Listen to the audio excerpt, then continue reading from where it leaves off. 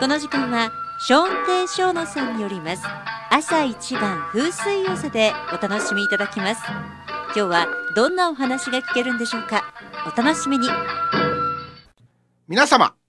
本日から令和元年でございますね。要は令和の天皇陛下と皇后陛下の即位の日ということでございましてね。心よりお喜び申し上げます。と同時に改めまして平成天皇陛下、皇后陛下におかれましては、大変お疲れ様でございました。これからはもうごゆっくりとお過ごしいただければと心より願う次第でございますが、しかしこの新元号、私の公文はすっかり外れでございましたが、聴取者の皆さんの中には当てたよという方がいらっしゃいますからね。いらっしゃればぜひお知らせいただきたいと思うわけでございますが、この令和というお言葉、万葉集から出たんですってね。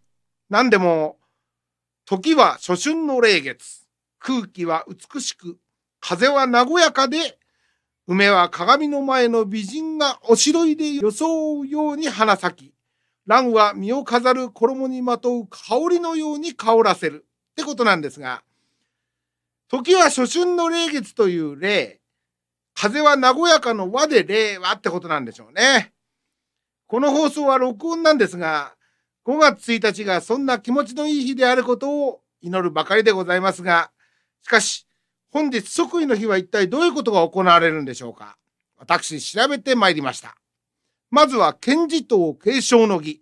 これは、歴代天皇に伝わる三種の神器のうち、剣と勾玉、公務で使う天皇の印鑑御事、国の印鑑の国事が新天皇陛下に引き継がれるんですって。残る三種の神器の鏡は伊勢神宮にありましてね、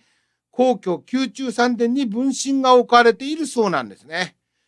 続きまして即位ご朝見の儀というのがありますね。これは即位された天皇陛下がご即位後初めて公式に三権の長をはじめ国民を代表する人々と会われる儀式で即位となるわけでございますね。大変おめでたいわけでございますが、しかし不思議なこともあるもんでして、私ども風水の世界のお宝にも勾玉があるんですね。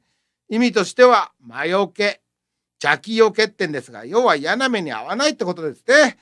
皆さんにはぜひ、ビルマさん翡翠で作った風水の勾玉をこの令和元年のおめでたい年にご携帯いただければと考えておりますが、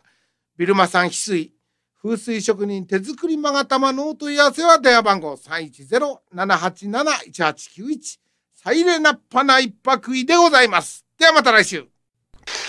朝一番風水寄せのお時間でした。ドラゴンゴッドへのお問い合わせは、ドラゴンゴッド USA.com。来週のこの時間もお楽しみに。